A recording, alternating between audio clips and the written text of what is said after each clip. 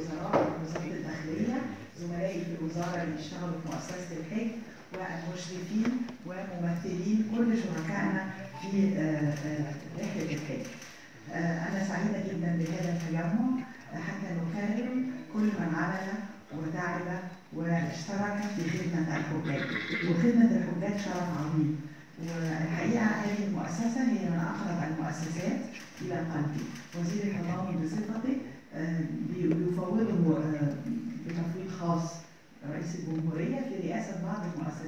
التابعة للوزاره بحكم منصبه وكانت منهم هذه المؤسسة الحمد لله في فترة عملي في وزارة التضامن أشرفنا ونفذنا ست مواسم حج. ست مواسم حج دول كان فيهم أكثر من 75 ألف حاج. تشرفنا بإن إحنا بننفذ البعثة الرسمية للدولة المصرية اللي تخرج من مجلس الوزراء واللي كان بيرأسها دايما أحد الزملاء من الوزراء. عشرات الجمعيات وزارة التضامن آه، سواء جمعيات أهلية ممثلة للمحافظات المختلفة أو آه، جمعيات متخصصة موجودة في القاهرة هيئات وزارات جهات كثيرة في الدولة كانت بتسعى كل سنة إنها تنضم لبعثة حج التضامن والحقيقة كنا بنجد نفسنا في حرج شديد لما نعتذر لحد عن آه، الاشتراك معنا في البعثة بتاعتنا. عاوز أقول لحضراتكم إن إحنا لما كنا بندير هذا أنا وزملائي في مجلس الأمناء اللي بتقدم لهم جميعا بخالص الشكر وخالص التقدير وخالص التحيه وبشكرهم على الجهد والوقت والاخلاص اللي بذلوه في هذا العمل خلانا يبقى عندنا نكتسب سمعه طيبه ما بين الجهات المنظمه للحج الحقيقة ده بسبب اخلاص مجلس الامناء بسبب خطه وضعناها لإدارة هذه المنظومة بأسلوب علمي إحنا بيساعد وبيساند كل هذه الجهود اتفقنا مع دار الإفتاء على تطوير كامل في التدريب وفي الاختبار وفي التعاون.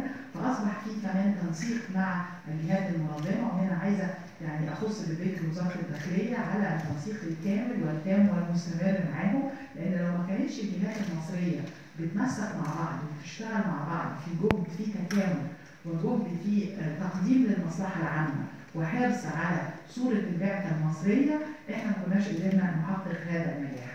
العام الماضي الحقيقة كان ناجح بكل المقاييس والفضل فيه لحضراتكم اللي موجودين. إحنا حطينا معايير لمن سيتم تكريمهم اللي موجودين معانا النهارده، هذه المعايير قائمة على فكرة الامتياز في خدمة الحجاج، التميز في تقديم الخدمات، الالتزام بكل ما نصت عليه الشروط والاتفاقات اللي اتفقنا معاهم عليها.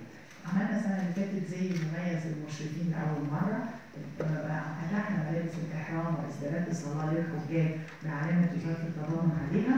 كل ده ساهم في إنه تبقى بعثة الحج نموذجيه دايما بنجي سنتنا بدري. أصبح عندنا علاقات قوية في المملكة العربية السعودية ومع وزارة الحج هناك. والسر في إن إحنا دايما بنبتدي نستعد بدري علشان هذه الرحلة اللي إحنا بنعتبرها كلنا الرحله الاهم في حياة كل مسلم والرحله الاهم والوجهه الأهم اللي بيتوجه لها كل مسلم. إحنا النهارده اجتمعنا في مجلس الأمناء واعلنا البدء في الاعداد القادم. إن شاء الله في ديسمبر